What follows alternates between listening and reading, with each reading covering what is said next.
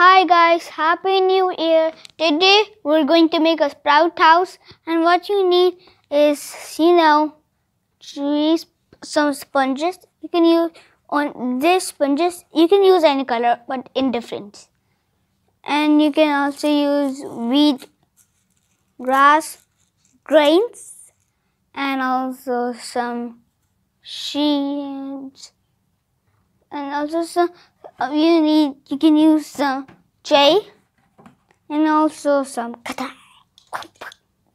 also a permanent marker and a scale and a scissor.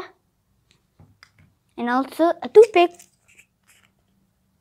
So this is what we're going to need and let's get started. Hi i mean welcome. So guys I have traced the permanent. I have traced the cut lines with the, per, with the help of permanent marker and scale for the cutting lines.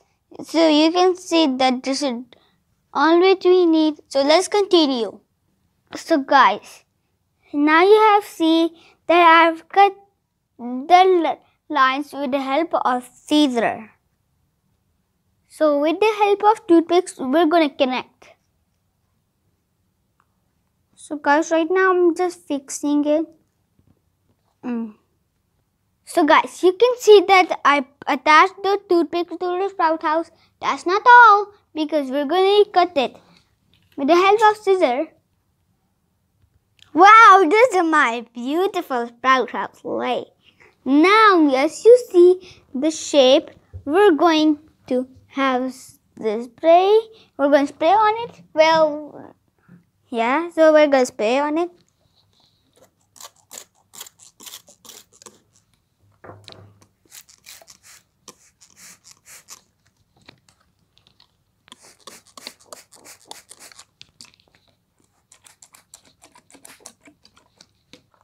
So guys, I also uh, I spray the house now. I also spray the seeds to, to break it down.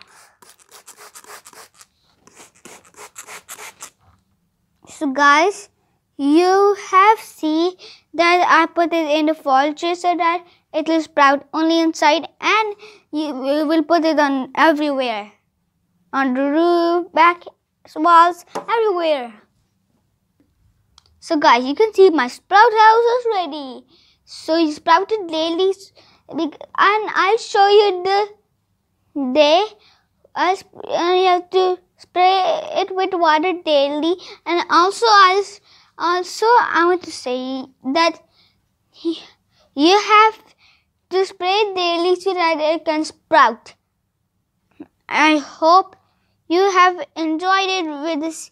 See how so I'll paste the video when it sprouts. So so till then bye and happy new year.